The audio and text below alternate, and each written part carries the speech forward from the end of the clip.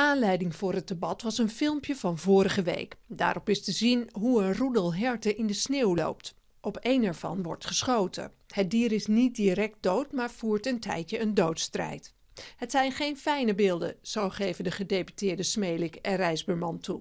De beelden zijn uh, vervelend. De beelden zijn uh, verschrikkelijk om te zien. Uh, het is nooit fijn om te zien hoe dieren, zeker grote imposante dieren als edelherten, worden afgeschoten en, en sterven in het veld.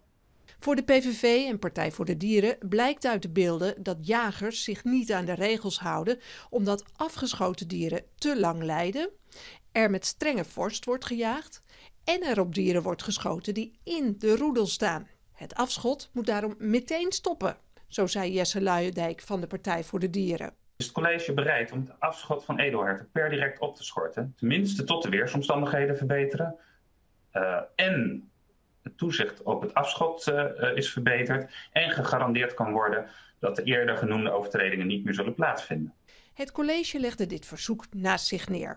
De omgevingsdienst OFGV, die moet controleren of jagers zich aan de regels houden, heeft namelijk geen fouten geconstateerd. Zo vertelden gedeputeerde Rijsperman en Smelik. In dit kader wellicht ook goed om te weten dat de OFGV op de data die genoemd zijn, waarop deze beelden van zouden komen, ik weet niet precies op welk moment, maar op die data in vorige week aanwezig is geweest en aangekondigd en onaangekondigd toezicht heeft gehouden. En zij hebben tot op heden geen overtredingen geconstateerd.